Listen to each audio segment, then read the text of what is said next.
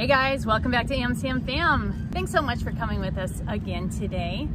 We've got a special video for you today that we are so excited to be finally bringing because this is one of the biggest questions we get asked all the time. That question is housing. What's the cost of housing here in American Samoa? How to find housing here in American Samoa? Rent versus buy and so we are going to take this chance today to answer these questions for you. But before we jump into it, guys, we just want to remind you, if you are not a subscriber yet, please consider subscribing to our channel because we love to do these sorts of videos and we talk a lot about things about the island, life on the island, how much things cost, uh, just how to kind of navigate day-to-day -day life moving to an island like American Samoa. And we would love it if you joined us on all of these adventures and, and all of these videos where we talk about cost of living. Also, please, if you like the video, leave a like below and give us a comment. Let us know what you think too. It helps direct our future videos. So I think the easiest question to answer is buying versus renting. People ask us all the time for ourselves why we don't just buy a house here. And people who are looking to come here ask if they can buy a house here. And that answer for ourselves is really easy. So the law here, back when they signed the treaty in 1900, which made these islands a territory of the U.S., part of the treaty was that to own land here in American Samoa, you have to be at least 50% Samoan. We're not. We're not even 0.5% Samoan. Oh, I know. I wish. Yeah. Now, there is the option to basically take out a really long-term lease on some land, like a 50-year lease, and you can build a house on the land and live in it for 50 years. But, you know, that that's a great option for some people. It just didn't really strike us as, as fitting our lifestyle and didn't fit sort of maybe our, our neuroses about the thought of like kind of really just having a long-term temporary uh, ownership stake in a house. So we didn't want to go that route, but that is an option for some people. It's complicated indeed to do that, and so we won't go into that part. If you're interested in that, um, you could get a hold of the American Samoa Affairs, Samoan Affairs, and they could help you out more with that. So the other option is renting. And we rented for the first four years that we lived here. We had good experiences. I guess we should just note real quickly in case you are just joining us for the first time and you're wondering why only the first four years. so we now live on a sailboat here in the harbor in Pago Pago, and we own our sailboat. So it's kind of like our little way of owning our own home now. yeah. So that's why we're not renting anymore. So that second question we're going to talk about is how to find a rental. That is a way more complicated answer than it probably seems like it should be because if you've watched our video on the cost of living for like transportation, we talked about this with cars, there's no Craigslist. Uh, Zillow isn't something that you can find here. There's no rent.com that covers this here. There's no place to go out and just kind of find a listing of all the places that are available for rent. And so you end up having to kind of do it in your own way. And everybody that we know um, that isn't from here that's found housing has sort of done it in their own way. And it's such a variety that there's no great single answer. So what we decided to do is to talk to some of these people that we know, some of our friends and some of the people we've run into along the way, and ask them how they got into the house that they're in. And we'll even share our own story too. Now that is part of what took us so long to get this video out. We've been working on this video for over a year now, but people have been a little bit resistant to share their stories. Everybody says, yeah, that's a great idea for a video. And we say, oh great, would you like to share your story? And most people decline. And and there there are good reasons for that too. People are either here working for the American Samoan government, and so they feel uncomfortable sharing their story of how they were able to get housing on their, like through their contract.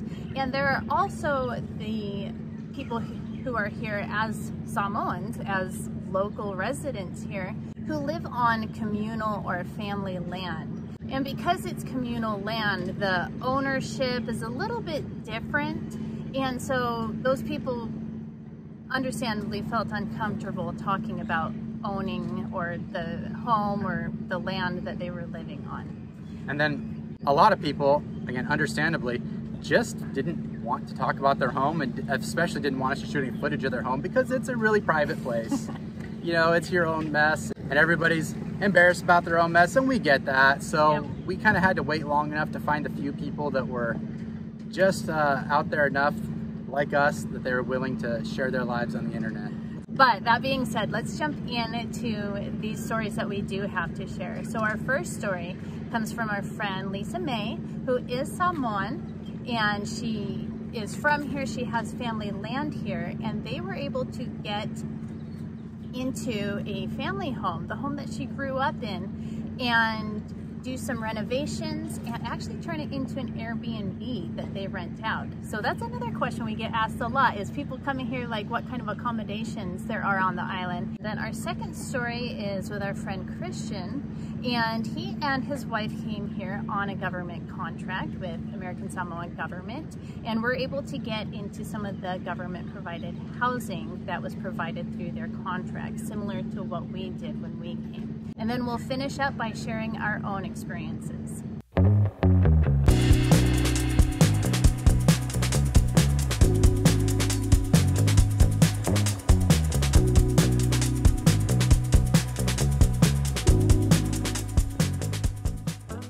Hi, I'm Lisa. We live up in Aoloau. Our father uh, bought this land back in the 70s, but because he bought this land, um, it's not a communal land anymore.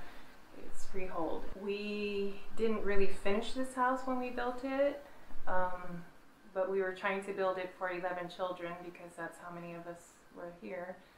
Um, but my dad felt like he needed to move up to the States because of his health.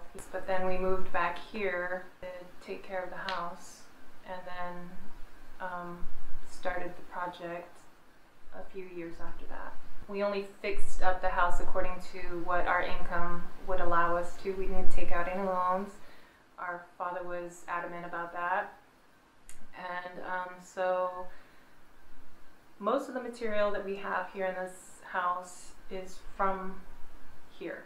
I mean, we bought a lot of it from Ace some of it from CBT. We did order a few things online from Amazon. They were more expensive if we bought it here than if we just bought it up on Amazon. Initially, this side of the house had no plumbing at all. I mean, this was our living room for the, the whole house.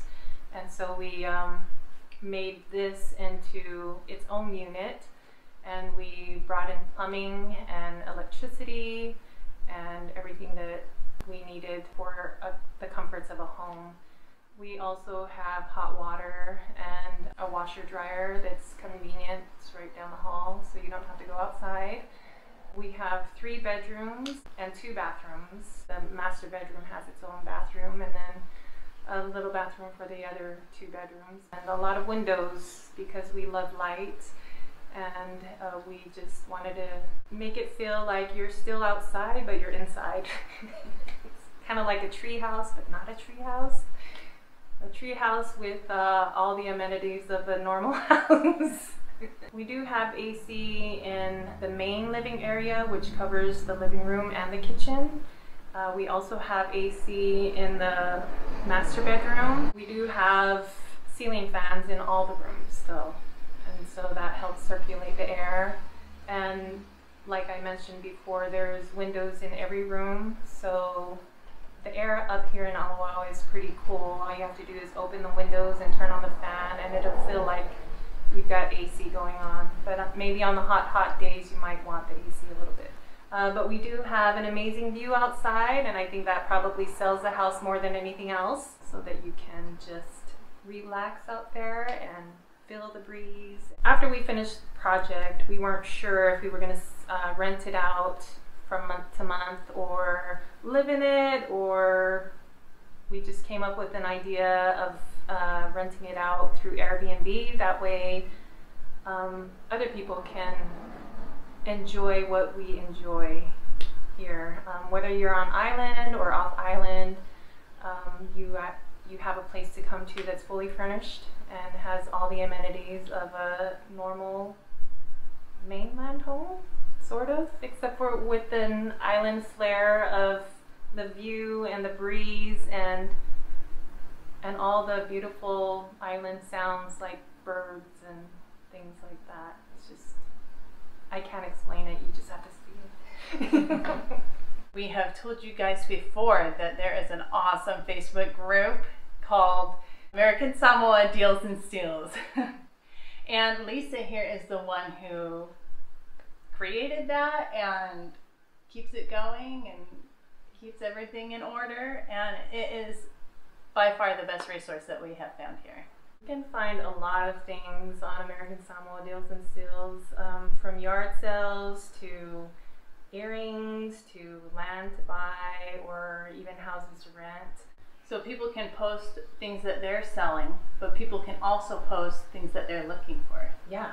I know that's what we've used sometimes. Yes. yeah, it's it's definitely been a helpful resource for us personally, um, as well as so many people on the island and a lot of people off the island too Yeah. that are are looking for things before they even come here or looking for things for their families that are here and they're not. Oh. Well, thank you so much, Lisa, for providing that resource for the island. And Thank you. like you said, I, I hadn't even considered that it could be helpful for people off island Oh to find things for their family too. Yeah. So that's awesome.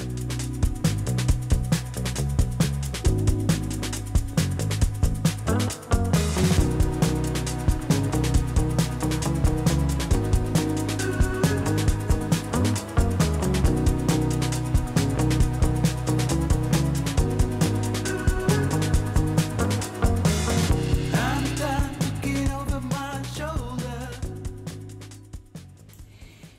All right, guys, I am joined here with Christian. So, hey, Christian, thanks for coming and helping us out today. Hi, so, um, where are we right now? uh, we are in a government housing at Freddy's Beach. Here in this one house, uh, there are two apartments, and we are here on the first floor or the upper floor. Sure, yeah. In America, we would call it the second floor, but that's okay. Second floor. I came here with my wife Lillian. She's working for the government, And For ASG. For ASG. Yeah, I'm trying here my luck as a photographer. Which you're great at. Yeah, Thank you. And um, so we mostly informed ourselves before coming here by looking at uh, your videos awesome. and uh, didn't know a ton about American Samoa. It was a relatively spontaneous decision. But yeah, we wanted to try something else. Um, so kind of wanted to escape COVID. Um, wanted to spend lots of time outside nature. Kind of were ready to plunge into a whole different adventure. Sounds familiar. Housing was pro- is provided uh, for government employees, so we were kind of happy to have something, yeah. and we thought, yeah, let's take it from there. So when you came, you guys came during COVID, so you had to be in the quarantine. But Yeah, as soon as you were out of quarantine, this was ready for you. yeah, yeah, You just moved right in. exactly. Yeah, That's nice. yes, exactly. So, if you guys are coming on a government contract, a local government contract, there's a good chance you'll be able to get into some government housing too. So that was the same for us. We were able to get in hmm to one of these apartments too, which was convenient. It was nice. Yeah. So this couch was here. It, how much did it have, and what else did you guys feel like you needed to kind of complete it? All the furniture here was there before, so we didn't um, provide any of the furniture. And given the size of the apartment, because uh, for a couple, the apartments are not really big. Probably like for you as a family, it was bigger. Yeah. Uh, like uh, there are some apartments here which have two floors and which are considerably bigger as well. Like how many bedrooms are in this apartment? Two. Two bedrooms. Yes. One bath. Yes. Okay. You've got a little kitchen. Yes. There's uh, an oven, a, a fridge, a freezer, water heater. Okay. There is no washer and there is no dryer. This apartment is not really built for a washer and a dryer. So even if you wanted to have one, you couldn't install it here. Go to a laundromat for, for the laundry. Yeah. But there are plenty available on the island. And, Yeah, lots of laundromats. yeah. So I know in just for reference point, in our apartment, we had the bigger two-story one for our Uh-huh. family, and there was a washer hookup. Uh-huh. And so we did, we went and bought a washer. And so we did have a washer, but there was no dryer hookup. So Oh. if you're coming to Freddy's Beach, just that's what you can expect. Behavior on a government contract is cheap. Mhm. That's how it was for us. Yeah. Yeah. Nate was getting paid every two weeks, and every pay period we paid 50 bucks Yeah. For the housing. Yeah. That's without utilities, um, electricity 150, um, and uh, internet probably 80. Yeah. Okay, yeah. Mhm. And we are right on the ocean. Not right on the ocean. We can see the ocean. Yes. Well, I know it might be hard to see the ocean, but you can hear it, and Yeah. um, yeah, it does get pretty warm though. So would you guys run? I see an AC. Would you run the AC or did you use fans? We ran one on a low level. Yeah. There are two AC units, one here and the other one in the bedroom.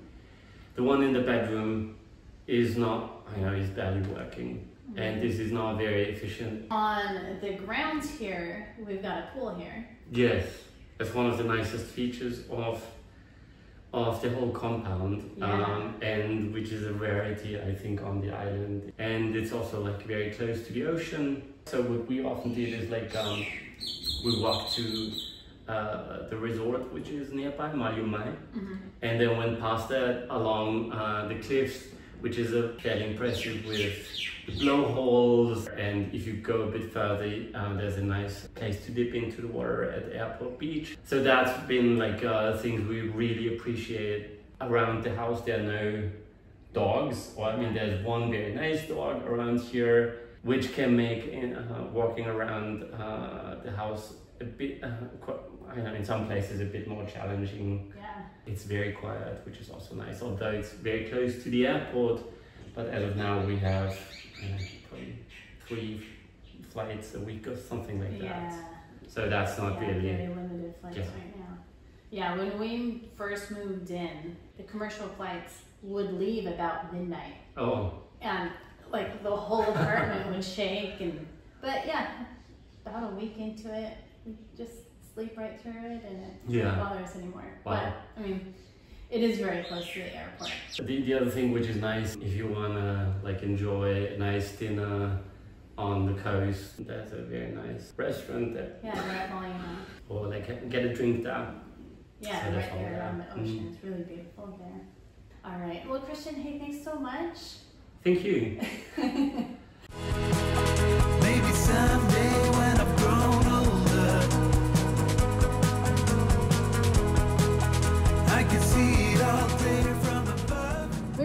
thank again our friends Lisa May and Christian for sharing your stories with us and sharing your experiences. And you know, it's such a good segue talking to Christian because, like we said going into this, it's a lot like our story was when we came here.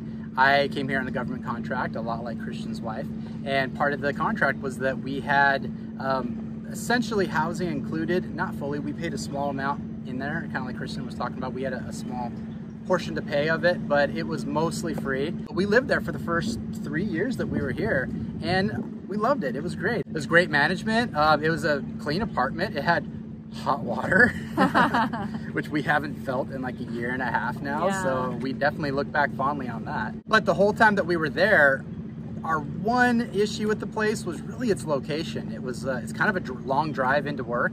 By long drive, I mean it's like eight miles or something like that. But on the island where the top speed is 25 and there's pretty bad traffic, eight miles would easily take us, you know, 45 minutes or so to drive into work. And that wasn't fun. And it was called Freddy's Beach. But the funny thing about that is that there is no accessible beach anywhere close to Freddy's Beach. And we wanted to be somewhere on the beach more. We're, we're beach people. We're a beach family, water family. If you couldn't tell. Yeah.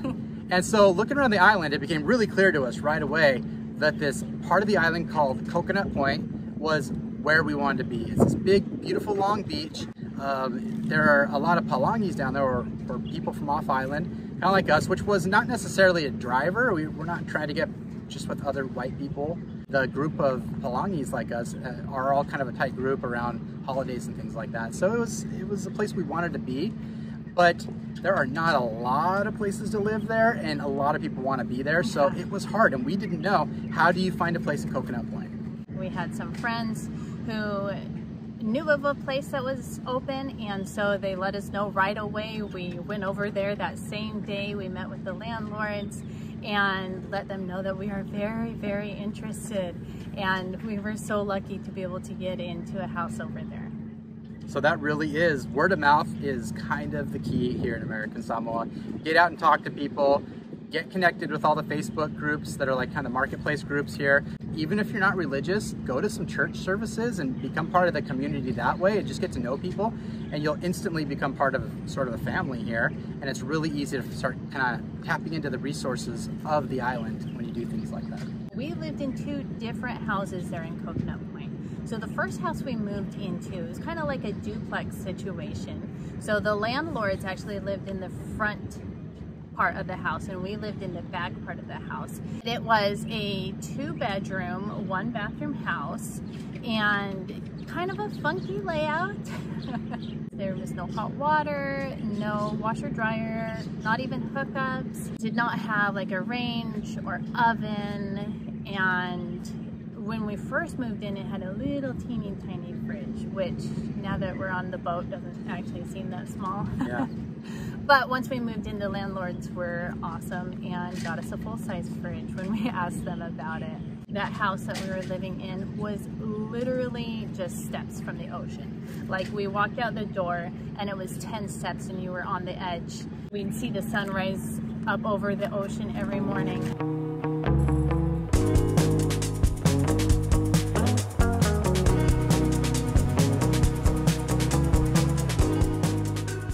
Proximity to the water is a major factor for us and it was one of the things that justified us you know spending what money we spent on it. And actually you'll laugh because it's ridiculous.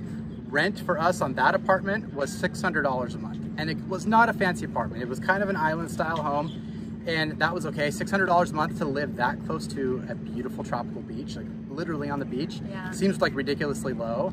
And, but for us you know we had to kind of weigh it out and that to us made it really worthwhile I think it might be worth a little bit more now to live in that apartment because uh, just over the last couple of years, the, the housing market's tightened up a little bit here and there's a lot of people looking for homes. So it's probably worth more now, but that was 600 bucks a month is what we paid for that at first. And so after living in that apartment for about six months, the friends that lived in the house next to us moved out, owned by the same landlords, and we moved into that house. So we had our own little house at that point. And we were fortunate enough to keep the same rent, although I know that when we moved out, that price went up significantly to about a thousand bucks a month, I believe, which is probably at least what it's worth. Now that place was a two bedroom, one bath, big bathroom, nice big shower again, but again, no hot water. It was quite a bit nicer than the other one. I wouldn't call it exactly an island style home because it was a little bit nicer than that. It had no oven or stove, which was interesting. So when we went in there, it was just a gas range and we had her get rid of it and we replaced it with an electrical range. It came partially furnished. That's an important yeah. thing to state. So it did have a bed and it came with tables and chairs and some things like that that made it so we didn't have to go out and buy every little thing, which was really great. And it did mm-hmm. actually originally come with a couch. The couch was not wonderful. I don't want to just say bad things. It just wasn't, we weren't comfortable and happy with it. We were willing to spend the extra money, so we went and bought our own couch. They pulled their couch out and we put ours in there and, and then it was a really comfy, nice place. It was still just steps from the ocean. We had our own little, I mean, it's really little, but our own little beach and we able to go out there. The kids could play out there. Literally the a private beach. Yeah. That was amazing. The way the wind blew, it blew right into our windows, which kept things cool. So much so that sometimes during like the colder time of year, we would at night have to close all the windows and still like be cold because there was such a cool breeze coming in off the water. So it didn't end up being a great, like a really big issue that we didn't have yeah. AC. And so that is our experience with the renting here. Now there are so many different houses that you could choose from. Rent I've seen as low as like $400 a month, but I believe that's more um, inland and more, again, more of the island style home. Maybe somewhere like in the jungle back in Tafuna where it's, mm -hmm. you know, it's going to be a little bit more mosquito ridden and it might not be as big or as nice. Or but, breezy. Or breezy. but it's, it's very affordable and uh -huh. you're going to be living in a nice, safe place at least. So yeah. that's in your budget range or that's all you can afford. There are those options sometimes if you talk to the right people and get yep. connected. Yeah, that's right. And I've also seen houses that are for rent that are, you know, $1,500 and up from there. Yeah. And a lot of those more expensive homes are usually up the mountain and they'll give you a, like a crazy good view. And they'll usually have a big, beautiful veranda and And those homes you could definitely expect to have hot water, you know, washer, dryer, AC, those kinds of amenities if that's what you're looking for too. There's so many more things that we could cover, but that kind of covers the basics, I feel like, right? as much as we can cover maybe with the limited amount of resources that there are to find homes on this island. Hopefully it gives you a little bit of an idea of what you might be getting yourself into and gives you some some strategies on how you might start looking for a home if you're gonna be moving here. If you're looking at moving here, we've had people ask, what could I do for work to be able to come live in this place that I see you guys living in? And that actually leads us perfectly into letting you guys know about our sponsor for this video. That's right, we've got a sponsor for our video, and that is a company called Skillshare. And Skillshare is an online platform with tutorials for you to be able to learn new skills and tools that can help you whether you are starting looking at starting a new business or if you're looking at being able to work online digitally. The most recent course that I had taken is the Introduction to Aerial Videography and that is put on by Wild Rabbit Productions. We always get lots and lots of positive input when we include some drone footage. And since getting our drone, I've been so unsure about using it. And so I end up usually not using it. And so this has been such a great course for me. It's gotten me to take the drone out and they include some challenges for you to do. I've been having so much fun actually taking my drone out and really learning how to use it. It's been really useful for me. If you are on the island, Skillshare is such a valuable resource to us here because there's not that many resources to us here on the island. And as a result, sometimes people are lacking in some of those really fundamental skills. Uh, I have personally struggled hiring people that have the right skills and I will direct people to Skillshare so they can go learn more about how to use Microsoft Office applications and how to get up to a professional level and build those skills to make themselves more marketable. So they can work not just with companies on the island, but they can put themselves out and work remotely for companies all over the world and bring money into American Samoa, which we love. Because Skillshare is sponsoring this video, they've got a special offer for you guys, for our viewers. The first thousand of our subscribers, to click the link in our description down below, will get one month free subscription.